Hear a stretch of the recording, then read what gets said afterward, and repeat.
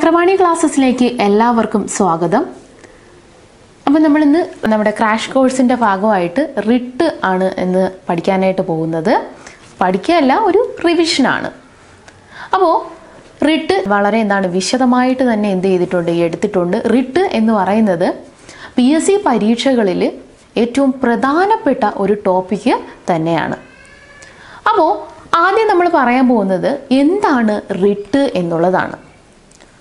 ഒരു പൗരന്റെ മൗലിക അവകാശങ്ങൾ സംരക്ഷിക്കുന്നതിനായിട്ട് കോടതി പുറപ്പെടുവിക്കുന്ന ഉത്തരവുകളെയാണ് റിട്ടുകൾ എന്ന് പറയുന്നത്. അപ്പോൾ എന്താണ് റിട്ട്?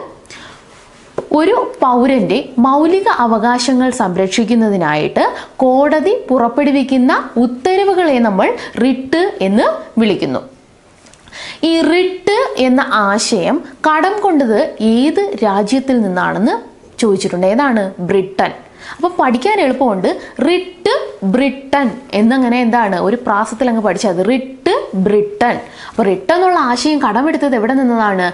ബ്രിട്ടനിൽ നിന്നാണ് റിട്ട് എന്ന ആശയം എന്ത് ചെയ്തിട്ടുള്ളത്? കടം കൊണ്ടിട്ടുള്ളത് ക്യാബിനറ്റ് സമ്പ്രദായം അത് ബ്രിട്ടനിൽ നിന്നാണ് നമ്മൾ എടുത്തിട്ടുള്ളത്. പാർലമെന്ററി സമ്പ്രദായം അത് ബ്രിട്ടനിൽ നിന്നാണ് എടുത്തിട്ടുള്ളത്. റൂൾ ഓഫ് ലോ ബ്രിട്ടനിൽ നിന്നാണ്.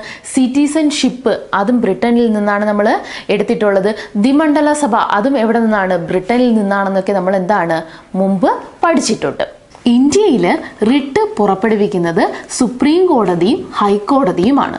സുപ്രീം കോടതി റിട്ട് പുറപ്പെടുവിക്കുന്ന ആർട്ടിക്കിൾ ആണ് ആർട്ടിക്കിൾ മുപ്പത്തിരണ്ട്. അപ്പോൾ സുപ്രീം കോടതി മുപ്പത്തിരണ്ടാം ആർട്ടിക്കിൾ പ്രകാരമാണ് എന്ത് പുറപ്പെടുവിക്കുന്നത്? റിട്ട് പുറപ്പെടുവിക്കുന്നത്. സുപ്രീം കോടതി മുപ്പത്തിരണ്ടാം ആർട്ടിക്കിൾ പ്രകാരം റിട്ട് പുറപ്പെടുവിക്കുന്നു. എന്നാൽ ഹൈക്കോടതി ഹൈക്കോടതി റിട്ട് പുറപ്പെടുവിക്കുന്ന ആർട്ടിക്കിൾ ആണ് ആർട്ടിക്കിൾ ഇരുന്നൂറ്റി ഇരുപത്തി ആറ് രണ്ട് ആർട്ടിക്കിളും എന്താണ്? വളരെ പ്രധാനപ്പെട്ട രണ്ട് ആർട്ടിക്കിളാണ് സുപ്രീം കോടതി ആർട്ടിക്കിൾ മുപ്പത്തിരണ്ട് പ്രകാരമാണ് റിട്ട് പുറപ്പെടുവിക്കുന്നത്. ഹൈക്കോടതി ആർട്ടിക്കിൾ ഇരുന്നൂറ്റി ഇരുപത്തിയാറ് പ്രകാരമാണ് എന്ത് പുറപ്പെടുവിക്കുന്നത്? റിട്ട് പുറപ്പെടുവിക്കുന്നത്. അപ്പോൾ അഞ്ച് തരം റിട്ടുകളാണ് ഉള്ളത്. റിട്ടുകൾ എത്ര എണ്ണം ഉണ്ടെന്ന് വെച്ചാൽ അഞ്ച് തരം റിട്ടുകളാണ്. അപ്പോൾ റിട്ട് എന്ന് പറഞ്ഞാൽ എന്താണ്? പൗരന്റെ മൗലിക അവകാശങ്ങൾ സ്ഥാപിക്കുന്നതിന് വേണ്ടി കോടതികൾ പുറപ്പെടുവിക്കുന്ന ഉത്തരവിനെയാണ് നമ്മൾ റിട്ടുകൾ എന്ന് പറഞ്ഞു. റിട്ടുകൾ എന്ന ആശയം കടമെടുത്തത് ബ്രിട്ടനിൽ നിന്നാണെന്ന് പറഞ്ഞു. റിട്ട് സുപ്രീം കോടതി പുറപ്പെടുവിക്കുന്ന ആർട്ടിക്കിൾ ആർട്ടിക്കിൾ മുപ്പത്തിരണ്ടാണെന്ന് പറഞ്ഞു. ഹൈക്കോടതി റിട്ട് പുറപ്പെടുവിക്കുന്ന ആർട്ടിക്കിളാണ് ആർട്ടിക്കിൾ ഇരുന്നൂറ്റി ഇരുപത്തി ആറെന്നും പറഞ്ഞു. പ്രധാനമായും അഞ്ച് തരം റിട്ടുകളാണ് ഉള്ളത്. അതും എന്താണ്? പി എസ് സി ഒരു മാർക്കാണ്. അപ്പോൾ പ്രധാനമായും എത്ര തരം റിട്ടുകളാണ് ഇന്ത്യയിൽ ഉള്ളതെന്ന് വെച്ചാൽ എത്ര തരം റിട്ടുകളാണ്? അഞ്ച് തരം റിട്ടുകളാണ് ഇന്ത്യയിൽ ഉള്ളത്. അവ ഏതൊക്കെയെന്ന് ചോദിച്ചാൽ ഒന്നാമത്തെ റിട്ടാണ് ഹേബിയസ് കോർപ്പസ്. ഒന്നാമത്തെ റിട്ടാണ് habeas corpus. Habeas corpus. Habeas corpus. രണ്ടാമത്തെ റിട്ടാണ് മാൻഡമസ്. മാൻഡമസ്. ഓ ഒന്ന് ഹേബിയസ് കോർപ്പസ് രണ്ട് മാൻഡമസ് മൂന്നാമത്തെ റിട്ടാണ് പ്രൊഹിബിഷൻ എന്താണ്? പ്രൊഹിബിഷൻ മൂന്നാമത്തത് പ്രൊഹിബിഷൻ പ്രൊഹിബിഷൻ നാലാമത്തതാണ് സെർഷ്യൂററി സെർഷ്യൂററി സെർഷ്യൂററി അപ്പോൾ ഒന്ന് ഹേബിയസ് കോർപ്പസ് രണ്ട് മാൻഡമസ് മൂന്ന് പ്രൊഹിബിഷൻ നാല് സെർഷ്യോററി അഞ്ചാമത്തെ റിട്ടാണ് കോ വാറന്റോ കോ വാറന്റോ കോ വാറന്റോ ഇതാണ് പ്രധാനമായിട്ടും ഉള്ള അഞ്ച് റിട്ടുകൾ എന്ന് പറയുന്നത്. ഒന്നാമത്തെ റിട്ടാണ് ഹെബിയസ് കോർപ്പസ് രണ്ടാമത്തതാണ് മാൻഡമസ് മൂന്നാമത്തതാണ് പ്രൊഹിബിഷൻ നാലാമത്തതാണ് സെർഷിയോററി അഞ്ചാമത്തെ റിട്ടാണ് കോ വാറന്റോ എന്ന് പറയുന്നത്. ഈ പറഞ്ഞ എല്ലാ ചോദ്യങ്ങളും എന്താണ്? പി എസ് സി പരീക്ഷയ്ക്ക് ചോദിച്ചിട്ടുള്ളതാണ്. എവിടെ നിന്ന് കടമെടുത്തു എന്ന് ചോദിച്ചിട്ടുണ്ട് എത്ര തന്നെ റിട്ടുകളുണ്ടെന്ന് ചോദിച്ചിട്ടുണ്ട് സുപ്രീം കോടതി പുറപ്പെടുവിക്കുന്ന റിട്ട് എത്രയാണെന്ന് ചോദിച്ചിട്ടുണ്ട് മുപ്പത്തിരണ്ടാണെന്നതിലുള്ള ചോദിച്ചിട്ടുണ്ട്. ഹൈക്കോടതി പുറപ്പെടുവിക്കുന്നത് ഇരുന്നൂറ്റി ഇരുപത്തി ആറ് പ്രകാരമാണ് എന്നും എന്ത് ചെയ്തിട്ടുണ്ട്? പി എസ് സി മുൻകാലങ്ങളിൽ എന്താണ് ചോദിച്ചിട്ടുണ്ട്. അഞ്ച് തരം റിട്ടുകളെ കുറിച്ചും എന്താണ്? പലതവണ പി എസ് സി ആവർത്തിച്ചിട്ടുള്ളതാണ്. അതിൽ ഒന്നാമത്തെ റിട്ടാണ് നമ്മൾ പഠിക്കാൻ പോകുന്നത് ഹേബിയസ് കോർപ്പസ് എന്ന് പറയുന്നത്. ഹേബിയസ് കോർപ്പസ് എന്നത് ഒരു ലാറ്റിൻ പദമാണ്. ഹേബിയസ് കോർപ്പസ് എന്നത് എന്താണ്? ഒരു ലാറ്റിൻ പദമാണ്. ഈ വാക്കിന്റെ അർത്ഥം എന്ന് പറയുന്നത് ശരീരം ഹാജരാക്കുക എന്നാണ്. ഹേബിയസ് കോർപ്പസ് എന്നത് ലാറ്റിൻ പദമാണ്. ഈ പദത്തിന്റെ അർത്ഥം എന്ന് പറയുന്നത് ശരീരം ഹാജരാക്കുക എന്നാണ്. അപ്പോൾ എന്താണ് ഹേബിയസ് കോർപ്പസ് എന്ന് ചോദിച്ചാൽ അന്യായമായി തടവിൽ പാർപ്പിച്ചിരിക്കുന്ന ഒരാളെ മോചിപ്പിക്കുന്നതിന് വേണ്ടി കോടതികൾ പുറപ്പെടുവിക്കുന്ന റിട്ടാണ് ഏതെന്ന് പറയുന്നത്? ഹേബിയസ് കോർപ്പസ് എന്ന് പറയുന്നത്. അന്യായമായി തടങ്കലിൽ പാർപ്പിച്ചിരിക്കുന്ന ഒരാളെ മോചിപ്പിക്കുന്നതിന് വേണ്ടി കോടതി പുറപ്പെടുവിക്കുന്ന റിട്ടാണ് ഹേബിയസ് കോർപ്പസ് എന്ന് പറയുന്നത്. അപ്പോൾ ഈ ഹേബിയസ് കോർപ്പസ് പ്രകാരം ആരെങ്കിലും അന്യായമായിട്ട് തടവിൽ വെച്ചിട്ടുണ്ടെങ്കിൽ നമുക്ക് എന്ത് ചെയ്യാം? ഒന്നുകിൽ സുപ്രീം കോടതിയോ ഹൈക്കോടതിയോ സമീപിക്കാം. അവർ അത് ആ കേസ് എന്താണ്? ന്യായമാണ് എന്ന് തോന്നുന്ന പക്ഷം അവരെന്ത് ചെയ്യും? അതിന് ആ വ്യക്തിയെ കോടതിയിൽ ഹാജരാക്കാൻ ഉത്തരവിടും. ഇതാണ് ഹേബിയസ് കോർപ്പസ് എന്ന് പറയുന്നത്. വ്യക്തി സ്വാതന്ത്ര്യത്തിന്റെ സംരക്ഷകൻ എന്നറിയപ്പെടുന്നത് ഹേബിയസ് കോർപ്പസ് ആണ്. അപ്പോൾ വ്യക്തി സ്വാതന്ത്ര്യത്തിന്റെ സംരക്ഷകൻ എന്നറിയപ്പെടുന്ന റിട്ട് ഏതാണ്? ഹേബിയസ് കോർപ്പസ് ആണ്. ഇനി ഈ ഹേബിയസ് കോർപ്പസ് എന്ന പദം ആദ്യമായി പ്രത്യക്ഷപ്പെട്ടത് എവിടെയാണെന്ന് ചോദിച്ചാൽ അത് മാഗ്ന കാർട്ടയിലാണ്. ഹേബിയസ് കോർപ്പസ് എന്ന പദം ആദ്യമായി പ്രത്യക്ഷപ്പെട്ടത് എവിടെയാണെന്ന് വെച്ചാൽ മാഗ്ന കാർട്ടയിലാണ്. മാഗ്ന കാർട്ട എന്ന് നമുക്കറിയാം. ആയിരത്തി ഇരുന്നൂറ്റി പതിനഞ്ചിലാണ് ജോൺ രാജാവ് റെണ്ണിമീഡ് വെച്ചാണ് മാഗ്ന കാർട്ട ഒപ്പിടുന്നത്. ഈ മാഗ്ന കാർട്ടയിലാണ് ഹേബിയസ് കോർപ്പസ് എന്നുള്ളത് എന്ത് ചെയ്യണം? ആദ്യമായിട്ട് വരുന്നത്. ഈ ഹേബിയസ് കോർപ്പസ് എന്നുള്ള ആശയം എന്താണ് ആദ്യമായിട്ട് വരുന്നത്? ഇനി രണ്ടാമത്തെ റിട്ട്. രണ്ടാമത്തെ റിട്ടാണ് മാന്റമസ്. മാൻഡമസ് എന്നത് എന്ന വാക്കിന്റെ അർത്ഥം എന്നെന്ന് വെച്ചാൽ നാം കൽപ്പിക്കുന്നു എന്നാണ്. മാൻഡമസ് എന്ന വാക്കിന്റെ അർത്ഥം എന്താണ്? നാം കൽപ്പിക്കുന്നു. അപ്പോൾ ഒന്നാമത്തെ നമ്മൾ ഹേബിയസ് കോർപ്പസ് പറഞ്ഞു. ഹേബിയസ് കോർപ്പസ് എന്നാൽ എന്താണ്? ശരീരം ഹാജരാക്കുക.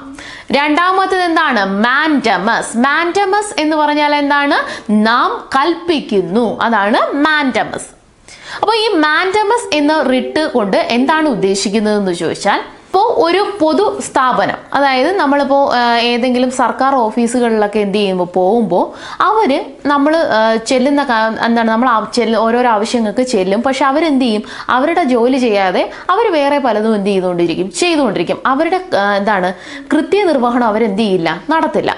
അങ്ങനെയുള്ള ഉദ്യോഗസ്ഥർക്കെതിരെയൊക്കെ പുറപ്പെടുവിക്കുന്ന റിട്ടാണ് ഏതെന്ന് പറയുന്നത്? മാൻഡമസ് എന്ന് പറയുന്ന റിട്ട്. അതായത് ഒരു പൊതുസ്ഥാപനം സ്ഥാപനം അല്ലെങ്കിൽ വ്യക്തിയോ അവരുടെ കടമ നിറവേറ്റാതിരിക്കുമ്പോൾ ഒരു പൊതുസ്ഥാപനമോ അല്ലെങ്കിൽ എന്താണ് ആ ഒരു പൊതുസ്ഥാപനത്തിലെ ഉദ്യോഗസ്ഥരോ എന്താണ് അവരുടെ കടമകൾ നിറവേറ്റാതെ ഇരിക്കുകയാണെങ്കിൽ അങ്ങനെയുള്ളവർക്കെതിരെ പുറപ്പെടുവിക്കുന്ന റിട്ടാണ് എന്തെന്ന് പറയുന്നത്? മാൻഡമസ് എന്ന് പറയുന്നത്. അതായത് നാം കൽപ്പിക്കുന്നു. എന്ത് ചെയ്യാൻ? അവരവരുടെ ആ വ്യക്തി അല്ലെങ്കിൽ ആ പൊതുസ്ഥാപനം എന്ത് ചെയ്യാൻ? അവരുടെ കടമ നിറവേ നിറവേറ്റാനായിട്ട്. അപ്പം മാറ്റമസ് എന്ന് പറഞ്ഞാൽ എന്താണ്? ഒരു പൊതു സ്ഥാപനമോ വ്യക്തിയോ എന്താണ് അവരുടെ കടമകൾ നിറവേറ്റാതിരിക്കുമ്പോൾ ആ കടമ നിറവേറ്റാനായിട്ട് പുറപ്പെടുവിക്കുന്ന റിട്ടാണ് എന്തെന്ന് പറയുന്നത്? മാന്റമസ് എന്ന് പറയുന്നത്. മാന്റമസ് എന്ന വാക്കിന്റെ അർത്ഥം നാം കൽപ്പിക്കുന്നു എന്നാണ്. ഈ മാൻഡമസ് എന്ന് പറയുന്ന റിട്ട് ഒരു സ്വകാര്യ വ്യക്തിക്കോ ഒരു സ്വകാര്യ സ്ഥാപനത്തിനെതിരെയോ സ്ഥാപനത്തിനെതിരെ എന്ത് ചെയ്യാൻ പറ്റില്ല? പുറപ്പെടുവിക്കാനായിട്ട് കഴിയില്ല. അപ്പോൾ ഒരു സ്വകാര്യ വ്യക്തിക്കോ അല്ലെങ്കിൽ ഒരു സ്വകാര്യ സ്ഥാപനത്തിനോ എതിരെ എന്ത് ചെയ്യാൻ പറ്റില്ല? മാൻഡമസ് എന്ന റിട്ട് എന്ത് ആ പുറപ്പെടുവിക്കാനായിട്ട് പറ്റില്ല. കാര്യം എന്താണ്? ആ പൊതു മേഖലയിലുള്ള സ്ഥാപനങ്ങൾക്കോ അവിടെ ജോലി ചെയ്യുന്ന ഉദ്യോഗസ്ഥർക്ക് എതിരെയോ മാത്രമേ എന്ത് ചെയ്യാൻ പറ്റുള്ളൂ? മാൻഡമസ് പുറപ്പെടുവിക്കാൻ പറ്റുള്ളൂ. അപ്പോൾ അത് മനസ്സിലായല്ലോ? ഇനി അടുത്ത മൂന്നാമത്തെ റിട്ടാണ് പ്രൊഹിബിഷൻ പ്രൊഹിബിഷൻ എന്നാൽ തടയുക എന്നാണ് ആ വാക്കിന്റെ അർത്ഥം. ഇതെന്ന് പറയുന്നത് മേൽക്കോടതികൾ കീഴ്ക്കോടതികൾക്ക് മേൽ പുറപ്പെടുവിക്കുന്ന റിട്ടാണ് പ്രൊഹിബിഷൻ മേൽക്കോടതികൾ കീഴ്ക്കോടതികൾക്ക് മേൽ പുറ പുറപ്പെടുവിക്കുന്ന റിട്ടാണ് എന്ന് പറയുന്നത് പ്രൊഹിബിഷൻ എന്ന് പറയുന്നത്. അപ്പോൾ കീഴ്ക്കോടതികൾ തന്റെ അധികാര പരിധി ലംഘിക്കുകയോ സ്വാഭാവിക നീതിക്ക് എതിരായിട്ട് പ്രവർത്തിക്കുകയോ ചെയ്യുമ്പോൾ അത് തടഞ്ഞുകൊണ്ട് മേൽക്കോടതികൾ പുറപ്പെടുവിക്കുന്ന റിട്ടാണ് എന്തെന്ന് പറയുന്നത്? പ്രൊഹിബിഷൻ എന്ന് പറയുന്നത്. അപ്പോൾ പ്രൊഹിബിഷൻ എന്ന് കേട്ടാൽ നമുക്ക് പെട്ടെന്ന് എന്ത് ഓർമ്മിച്ച് ചെയ്യണം? തടയുക എന്നുണ്ട് ഉള്ളതാണെന്ന് ഓർമ്മിച്ച് വയ്ക്കുക അപ്പോൾ എന്ത് തടയുന്നു? മേൽക്കോടതികൾ ആരെ തടയുന്നു? കീഴ്ക്കോടതികളെ തടയുന്നു. അപ്പം മേൽക്കോടതികൾ കീഴ്ക്കോടതികളെ തടഞ്ഞുകൊണ്ട് പുറപ്പെടുവിക്കുന്ന റിട്ടാണ് പ്രൊഹിബിഷൻ എന്ന് പറയുന്നത്. അതായത് കീഴ്ക്കോടതികൾ തന്റെ അധികാര പരിധി ലംഘിക്കുകയോ സ്വാഭാവിക നീതിക്ക് എതിരായിട്ട് പ്രവർത്തിക്കുകയോ ചെയ്യുമ്പോൾ അത് തടഞ്ഞുകൊണ്ട് മേൽക്കോടതികൾ പുറപ്പെടുവിക്കുന്ന റിട്ടിനെയാണ് നമ്മൾ പ്രൊഹിബിഷൻ എന്ന് പറയുന്നത്. ഇനി നാലാമത്തെ റിട്ടാണ് സെർഷ്യോററി എന്ന് പറയുന്നത്. സെർഷ്യൂററി എന്ന വാക്കിന്റെ അർത്ഥമാണ് ടു ബി സർട്ടിഫൈഡ് അല്ലെങ്കിൽ ഇൻഫോംഡ് എന്നുള്ളത്. അപ്പോൾ സെർഷ്യൂററി എന്ന റിട്ടിൽ പറയുന്നതെന്ന് വെച്ചാൽ ഒരു കേസ് ഒരു കേസ് കീഴ്ക്കോടതിയിൽ നിന്ന് മേൽക്കോടതിയിലേക്ക് മാറ്റാനായിട്ട് പുറപ്പെടുവിക്കുന്ന റിട്ടാണ് ഏതെന്ന് പറയുന്നത്? സെർഷ്യൂററി എന്ന് പറയുന്നത്. ഒരു കേസ് കീഴ്ക്കോടതിയിൽ നിന്ന് മേൽക്കോടതിയിലേക്ക് മാറ്റാനായിട്ട് പുറപ്പെടുവിക്കുന്ന റിട്ടാണ് ഏതെന്ന് പറയുന്നത്? സെർഷ്യൂററി എന്ന് പറയുന്നത്. ഇനി അടുത്ത അഞ്ചാമത്തെ റിട്ടാണ് കോ വാറന്റോ കോ വാറന്റോ എന്ന വാക്കിന്റെ അർത്ഥമാണ് വാട്ട് അതോറിറ്റി അല്ലെങ്കിൽ എന്ത് അധികാരം? ആ ഒരാൾ അയാൾക്ക് അർഹമല്ലാത്ത ഒരു പദവിയിൽ ഇരിക്കുന്നെങ്കിൽ അങ്ങനെയുള്ള ആളുകൾക്ക് മേൽ പദ എന്താണ് പുറപ്പെടുവിക്കുന്ന റിട്ടാണ് ഏതെന്ന് പറയുന്നത്? കോ വാറന്റോ എന്ന് പറയുന്നത്. അതായത് ഏതെങ്കിലും പൊതുമേഖല സ്ഥാപനങ്ങളിലോ മറ്റോ എന്താണ് ആ സ്വതന്ത്ര ചുമതല വഹിച്ചുകൊണ്ടിരിക്കുന്ന വ്യക്തി. അയാൾ അയാളുടെ പദവിയിലിരിക്കാൻ അയാൾ എന്തല്ല അർഹനല്ല എങ്കിൽ അയാൾക്കെതിരെ പുറപ്പെടുവിക്കുന്ന റിട്ടാണ് ഏതെന്ന് പറയുന്നത്? കോ വാറന്റോ എന്ന് പറയുന്നത്. അപ്പോൾ എല്ലാ പദവികൾക്കും അതിന്റെതായ ഒരു ക്വാളിഫിക്കേഷൻ എന്ത് ചെയ്യണം? ഉണ്ടാവും. അപ്പോൾ അന്യായമായിട്ട് ഒരു വ്യക്തി എന്ത് ചെയ്യുന്നു? അയാളുടെ ആ, പദവിക്ക് വേണ്ട ക്വാളിഫിക്കേഷൻ ഒന്നുമില്ലാതെ എന്ത് ചെയ്യുന്നു? ആ പദവിയിലിരിക്കുന്നു. അങ്ങനെ വ്യക്തികൾക്കെതിരെ നമുക്ക് എന്ത് ചെയ്യാം? കോ വാറന്റോ എന്ന റിട്ട് എന്ത് ചെയ്യാം? പുറപ്പെടുവിക്കാം. അപ്പോൾ അയാൾ എന്ത് ചെയ്യും? ആ കോടതി ആ ഈ റിട്ട് പ്രകാരം അയാൾ എന്ത് ചെയ്യും? ആ തൽസ്ഥാനത്ത് നിന്ന് എന്ത് ചെയ്യും? നീക്കം ചെയ്യും. ഇതാണ് കോ വാറന്റോ അല്ലെങ്കിൽ എന്ത് അധികാരം നിങ്ങൾക്ക് ഈ സ്ഥാനത്തിരിക്കാൻ എന്ത് ആണ് അധികാരം. അപ്പോൾ നമ്മൾ പ്രധാനമായിട്ടും അഞ്ച് റിട്ടുകളാണെന്ന് പറഞ്ഞത്. ഈ അഞ്ച് റിട്ടുകളും എന്താണ്? പി എസ് സിക്ക് ഒരുപാട് തവണ എന്താണ് ചോദിച്ചിട്ടുള്ള സംഭവങ്ങളാണ്. അപ്പോൾ റിട്ട് എന്നുള്ള ആശയം ബ്രിട്ടനിൽ നിന്നാണെന്ന് നിങ്ങൾ ഓർമ്മിക്കുക. റിട്ട് പുറ റിട്ടുമായി ബന്ധപ്പെട്ട് പ്രധാനമായി രണ്ട് ആർട്ടിക്കിളുകൾ നമ്മൾ പഠിച്ചിരിക്കുക. അതാണ് ആർട്ടിക്കിൾ മുപ്പത്തിരണ്ട്. ആർട്ടിക്കിൾ മുപ്പത്തിരണ്ട് പ്രകാരമാണ് സുപ്രീം കോടതി റിട്ട് പുറപ്പെടുവിക്കുന്നത്. ആർട്ടിക്കിൾ ഇരുന്നൂറ്റി പ്രകാരമാണ് ഹൈക്കോടതി റിട്ട് പുറപ്പെടുവിക്കുന്നത്. പ്രധാനമായിട്ടും അഞ്ച് റിട്ടുകളാണ് ഉള്ളതെന്ന് പഠിച്ചു. ഹേബിയസ് കോർപ്പസ് രണ്ടാമത്തത് മാന്റമസ് മൂന്ന് പ്രൊഹിബിഷൻ നാല് സെർഷ്യൂററി അഞ്ചെന്ന് പറയുന്നത് കോവാറന്റോ ഹേബിയസ് കോർപ്പസ് എന്ന് പറഞ്ഞാൽ ശരീരം ഹാജരാക്കുക. രണ്ടാമത്തതാണ് മാന്റമസ്. മാന്റമസ് എന്ന് പറഞ്ഞാൽ എന്താണ്? നാം കൽപ്പിക്കുന്നു എന്നാണ്. ഇനി അടുത്തതാണ് പ്രൊഹിബിഷൻ. പ്രൊഹിബിഷൻ എന്ന് പറഞ്ഞാൽ തടയുക. സെർഷ്യൂററി സെർഷ്യോററി എന്ന് പറഞ്ഞതാണ് ടു ബി സർട്ടിഫൈഡ് അല്ലെങ്കിൽ ഇൻഫോംഡ് അഞ്ചെന്ന് പറയുന്നത് കോ വാറന്റോ അതായത് എന്ത് അധികാരം. ഇതാണ് ആ വേർഡിന്റെ മീനിങ് എന്ന് പറയുന്നത്. ഇതും എന്താണ്? പരീക്ഷയ്ക്ക് പലതവണ എന്ത് എന്ത് ചെയ്തിട്ടുണ്ട്? ചോദിച്ചിട്ടുണ്ട്. ഹേബിയസ് കോർപ്പസ് എന്ന് പറഞ്ഞാൽ നമുക്കറിയാം. അന്യായമായി തടവിൽ വെച്ചിരിക്കുന്ന വ്യക്തികളെ മോചിപ്പിക്കാനാണ് മാൻഡമസ് എന്ന് പറഞ്ഞാൽ എന്താണ്? ആ പൊതുമേഖലാ സ്ഥാപനങ്ങളിലുള്ള ഉദ്യോഗസ്ഥരെന്താണ് അവരുടെ എന്താണ് കർത്തവ്യം നിറവേറ്റാതിരിക്കുകയാണെങ്കിൽ അവർക്കെതിരെ പുറപ്പെടുവിക്കുന്ന അവരുടെ കർത്തവ്യം നിറവേറ്റാനായി പുറപ്പെടുവിക്കുന്ന റിട്ടാണ് മാൻഡമസ് എന്ന് നമുക്കറിയാം. മൂന്നാമത്തതാണ് പ്രൊഹിബിഷൻ. ഇത് കോടതികളുമായിട്ടുള്ള റിട്ടാണെന്ന് നമുക്കറിയാം. ഒരു മേൽക്കോടതി കീഴ്ക്കോടതികൾക്ക് മേൽ പുറപ്പെടുവിക്കുന്ന റിട്ടാണ് ഏതെന്ന് പറയുന്നത്? പ്രൊഹിബിഷൻ അപ്പോൾ കീഴ്ക്കോടതി തന്റെ അധികാര പരിധി ലംഘിക്കുകയാണെങ്കിൽ അതിനെ ചോദ്യം ചെയ്തുകൊണ്ട് അല്ലെങ്കിൽ അതിനെ തടഞ്ഞുകൊണ്ട് മേൽക്കോടതി പുറപ്പെടുവിക്കുന്ന റിട്ടാണ് ഏതെന്ന് പറയുന്നത്? പ്രൊഹിബിഷൻ എന്ന് നമ്മൾ പറഞ്ഞു. നാലാമത്തതെയാണ് സെർഷ്യൂററി അല്ലെങ്കിൽ ടു ബി സർട്ടിഫൈഡ് അല്ലെങ്കിൽ ഇൻഫോംഡ് എന്ന് നമ്മൾ പറഞ്ഞു. അതായത് ഒരു കേസ് കീഴ്ക്കോടതിയിൽ നിന്ന് മേൽക്കോടതിയിലോട്ട് മാറ്റാനായിട്ട് പുറപ്പെടുവിക്കുന്ന റിട്ടാണ് സെർഷ്യൂററി എന്ന് പറഞ്ഞു. അഞ്ചാമത്തെ റിട്ടാണ് കോ വാറന്റോ എന്ന് പറഞ്ഞു. അന്യായമായിട്ട് ഒരാൾ തനിക്ക് അർഹതയില്ലാത്തൊരു പദവിയിൽ കയറി ഇരിക്കുകയാണെങ്കിൽ അങ്ങനെയുള്ള വ്യക്തികൾക്ക് എതിരെ പുറപ്പെടുവിക്കുന്ന റിട്ടാണ് ഏതെന്ന് പറയുന്നത്?